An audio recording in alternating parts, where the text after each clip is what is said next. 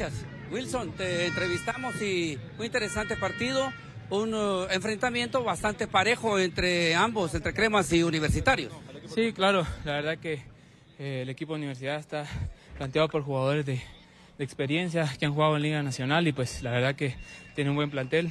Sabíamos nosotros que no iba a ser nada fácil y pues nada, la verdad que lo más importante fue, eh, aparte del resultado que siempre apuntamos a ganar, es la preparación del equipo y el funcionamiento. Bastante liberado, ¿lo ves después de la finalización prácticamente de la pretemporada?